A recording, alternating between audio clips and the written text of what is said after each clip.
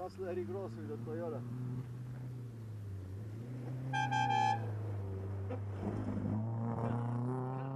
That was perfect with the camera.